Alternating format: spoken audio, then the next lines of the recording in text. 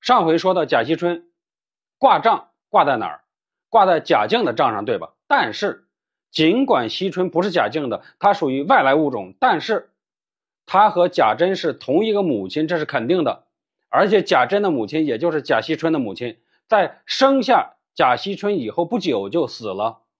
林黛玉进荣国府的时候，那时候惜春尚小，也就四五岁，而此时惜春的亲侄子贾蓉都已经成家了，就是娶秦可卿的那个王。嗨，别骂人了，亲哥哥的儿子都已经成家了，自己才四五岁，因此你算算，这个亲哥哥得比自己大多少岁？至少三十岁得有吧？那么我假设啊，贾珍的母亲，我假设十五岁生的贾珍，那么再加三十年，那么贾珍的母亲是不是大约四十五岁左右生的惜春啊？如果再给他往大了说一点，那就是小五十岁生的惜春。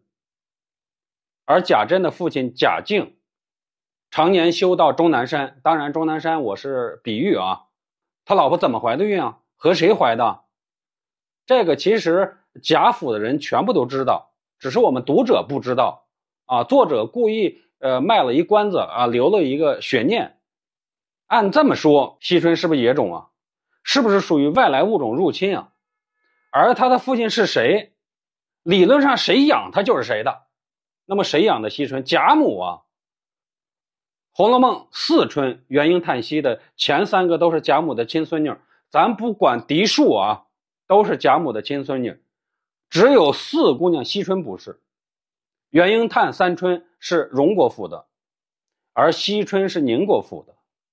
她是名义上的贾敬的女儿，贾珍的妹妹，贾代化的孙女，宁国府的创始人贾演的曾孙女。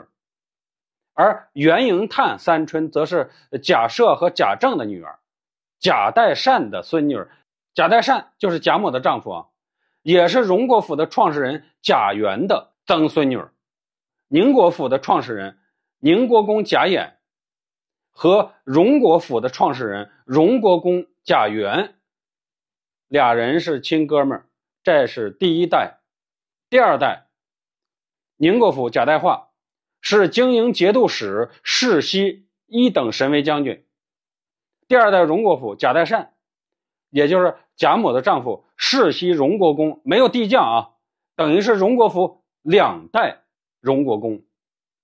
第三代宁国府贾敬，乙卯科进士，很厉害啊。后来辞职不干了，进玄真观炼丹烧汞，就是研究那个长生不老的新药去了。死后追赐五品官。第三代荣国府长子贾赦世袭一等将军。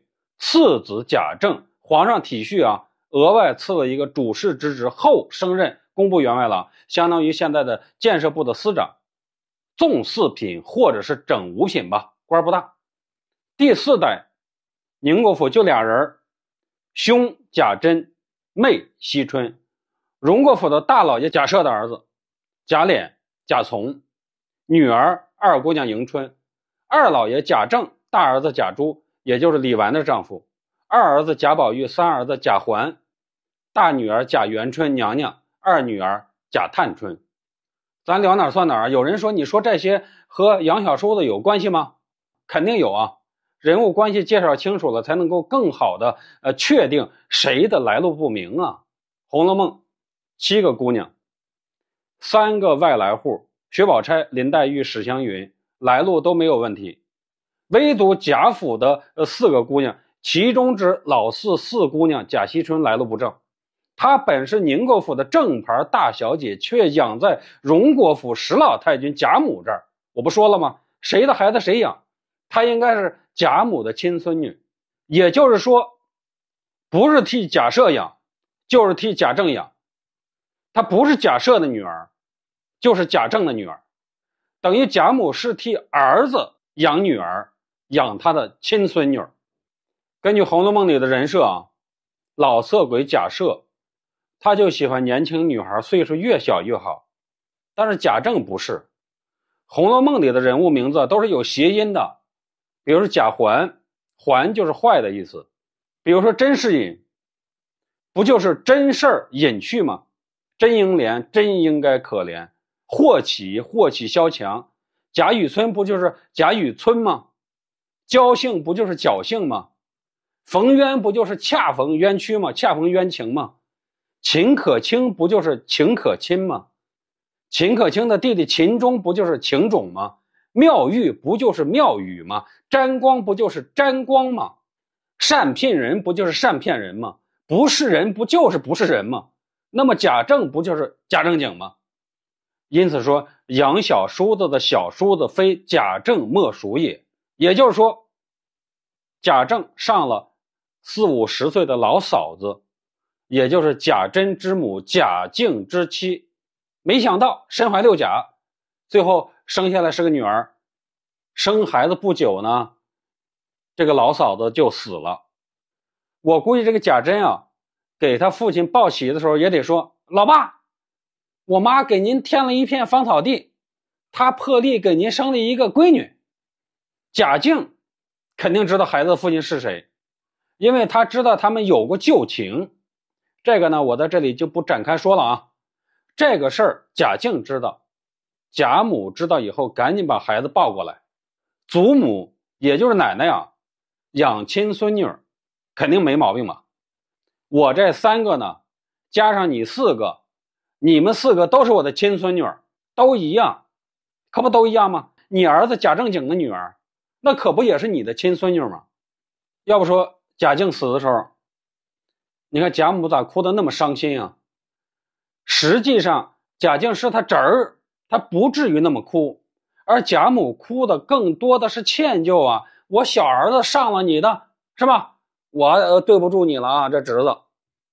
而且你看这老四啊，四姑娘贾惜春，绝不和宁国府来往，甚至包括自己的亲哥哥贾珍也几乎不来往。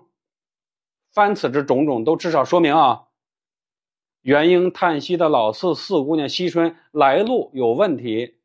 他被贾母养在荣国府，几乎不回宁国府，那是因为他就认为我就是荣国府的人，宁国府它不是我的家，因此说。